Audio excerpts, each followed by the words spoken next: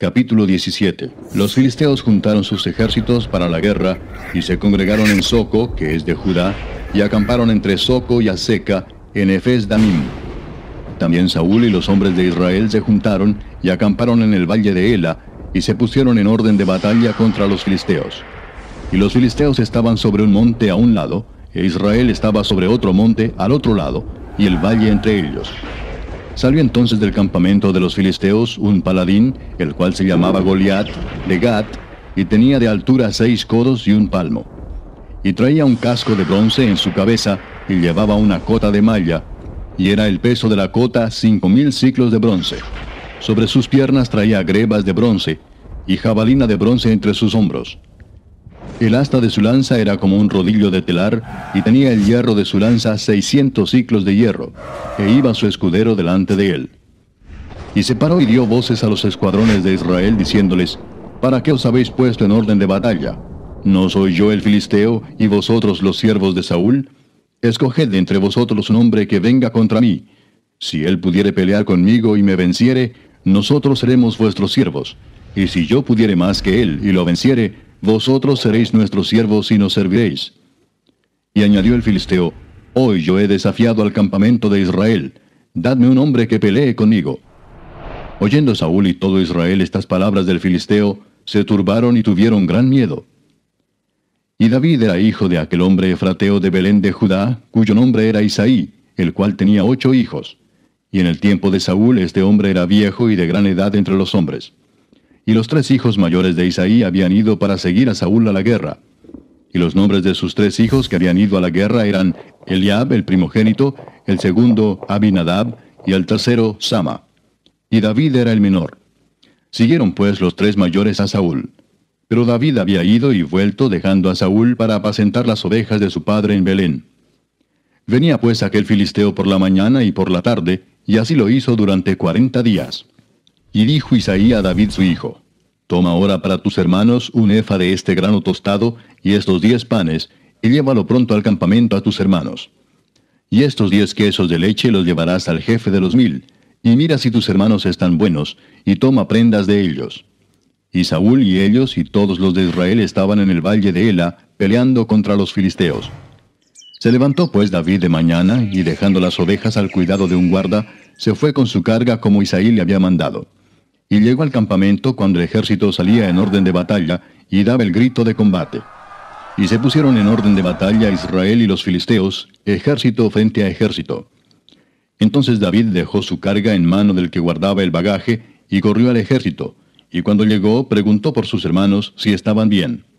Mientras él hablaba con ellos, he aquí que aquel paladín que se ponía en medio de los dos campamentos, que se llamaba Goliat, el filisteo de Gad, salió de entre las filas de los filisteos y habló las mismas palabras, y las oyó David.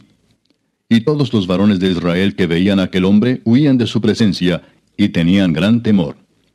Y cada uno de los de Israel decía, ¿no habéis visto aquel hombre que ha salido? Él se adelanta para provocar a Israel. Al que le venciere, el rey le enriquecerá con grandes riquezas y le dará su hija, y eximirá de tributos a la casa de su padre en Israel.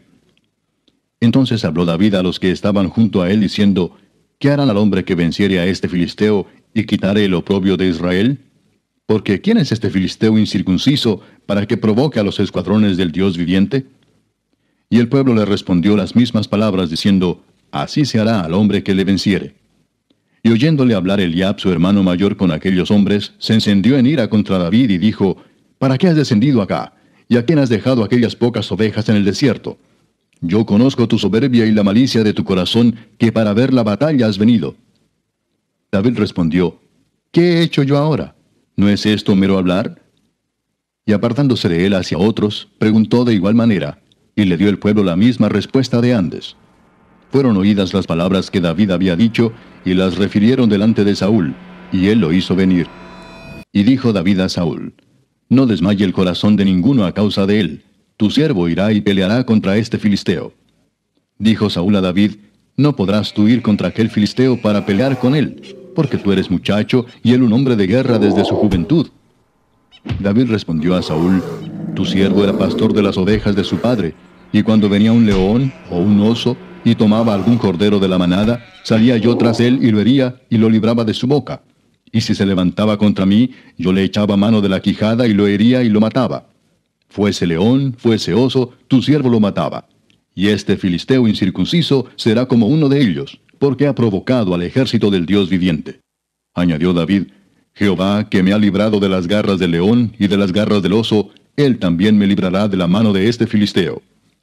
Y dijo Saúl a David, Ve, y Jehová esté contigo. Y Saúl vistió a David con sus ropas, y puso sobre su cabeza un casco de bronce, y le armó de coraza. Y ciñó David su espada sobre sus vestidos, y probó a andar, porque nunca había hecho la prueba. Y dijo David a Saúl, Yo no puedo andar con esto porque nunca lo practiqué. Y David echó de sí aquellas cosas. Y tomó su callado en su mano, y escogió cinco piedras lisas del arroyo, y las puso en el saco pastoril, en el zurrón que traía, y tomó su honda en su mano, y se fue hacia el filisteo. Y el filisteo venía andando y acercándose a David, y su escudero delante de él. Y cuando el filisteo miró y vio a David, le tuvo en poco, porque era muchacho y rubio y de hermoso parecer. Y dijo el filisteo a David, ¿Soy yo perro para que vengas a mí con palos? Y maldijo a David por sus dioses. Dijo luego el filisteo a David, Ven a mí y daré tu carne a las aves del cielo y a las bestias del campo. Entonces dijo David al filisteo, Tú vienes a mí con espada y lanza y jabalina, mas yo vengo a ti en el nombre de Jehová de los ejércitos, el Dios de los escuadrones de Israel, a quien tú has provocado. Jehová te entregará hoy en mi mano, y yo te venceré y te cortaré la cabeza, y daré hoy los cuerpos de los filisteos a las aves del cielo y a las bestias de la tierra. Y toda la tierra sabrá que hay Dios en Israel y sabrá toda esta congregación que Jehová no salva con espada y con lanza, porque de Jehová es la batalla, y él los entregará en nuestras manos. Y aconteció que cuando el filisteo se levantó y echó a andar para ir al encuentro de David, David se dio prisa y corrió a la línea de batalla contra el filisteo. Y metiendo David su mano en la bolsa, tomó de allí una piedra y la tiró con la honda e hirió al filisteo en la frente, y la piedra quedó clavada en la frente y cayó sobre su rostro en tierra. Así venció David al filisteo con honda y piedra, e hirió al filisteo y lo mató sin tener David espada en su mano. Entonces corrió David y se puso sobre el filisteo, y tomando la espada de él y sacándola de su vaina, lo acabó de matar, y le cortó con ella la cabeza. Y cuando los filisteos vieron a su paladín muerto, huyeron. Levantándose luego los de Israel y los de Judá, gritaron y siguieron a los filisteos hasta llegar al valle y hasta las puertas de Ecrón y cayeron los heridos de los filisteos por el camino de Saharim hasta Gad y Ecrón. Y volvieron los hijos de Israel de seguir tras los filisteos y saquearon su campamento. Y David tomó la cabeza del filisteo y la trajo a Jerusalén, pero las armas de él las puso en su tienda. Y cuando Saúl vio a David que salía a encontrarse con el filisteo, dijo a Abner, general del ejército, Abner, ¿de quién es hijo ese joven? Y Abner respondió, Vive tu alma, oh rey, que no lo sé. Y el rey dijo, Pregunta de quién es hijo ese joven. Y cuando David volvía de matar al filisteo, Abner lo tomó y lo llevó delante de Saúl, teniendo David la cabeza del filisteo en su mano. Y le dijo Saúl, Muchacho, ¿de quién eres hijo? Y David respondió, Yo soy hijo de tu siervo Isaí de Belén.